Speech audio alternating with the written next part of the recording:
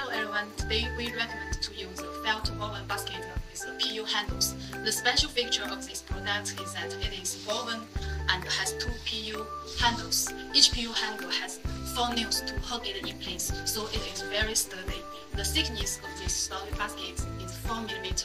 The size is 36 length, 28 width, 27 height. So it is big enough to hold and organize clothes, toys, kids toys, and magazines, etc.